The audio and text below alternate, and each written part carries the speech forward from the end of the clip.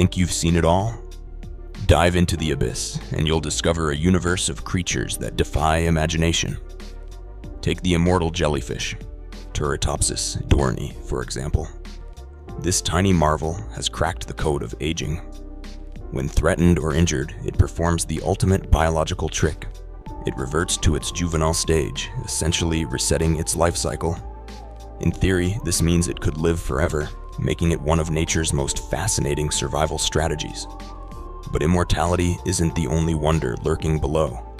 Some organisms thrive in places that seem impossible for life, like hydrothermal vents on the ocean floor.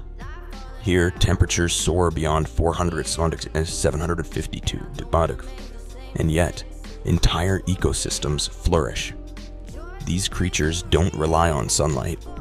Instead, they harness chemical energy from the Earth itself, proving that life can adapt to extremes beyond our wildest dreams.